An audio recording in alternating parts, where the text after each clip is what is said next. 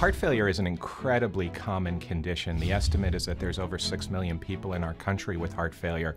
And as we've gotten better at caring for a number of cardiac diseases, and as the population has grown, we're actually seeing an increased number of heart failure cases as patients age. So it's become a very important aspect of cardiac care. There are multiple ways that new technologies are helping with the care of heart failure patients. We're now able to see patients remotely when they don't live close to a, a, medical center that specializes in heart failure care. We're able to do something called telemonitoring, where we bring technologies into the patient's home and we can monitor their um, cardiac status remotely.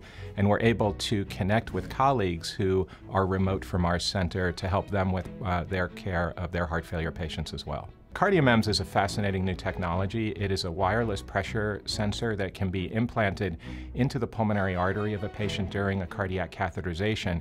It allows that patient to transmit to the physician via the internet their day-to-day cardiac pressures, which then allows the, the physician to make adjustments in patient medication and, we think, improve overall patient outcomes.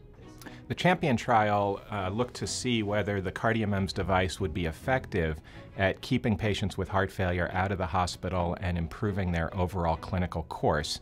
It found that there was a 35% reduction in hospitalizations in patients who had the device placed and where their physician was able to access the data from the device to allow for more aggressive and more tailored medication adjustments. The Heart Failure Case Conference is a new endeavor that we have begun in the last several months where we're trying to link cardiologists from throughout our system, many of whom are remote from our main academic center, in a monthly teleconference to discuss complex heart failure cases.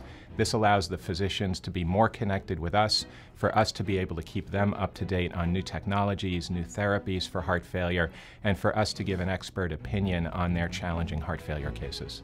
I think new technologies offer an enormous amount of promise for heart failure, whether it is being able to see patients remotely, whether it's being able to connect with physicians who are remote from the main institution, or whether it's using new devices in the home to monitor patients and to be able to adjust therapies more carefully, I think all of these are going to improve heart failure outcomes in the long run.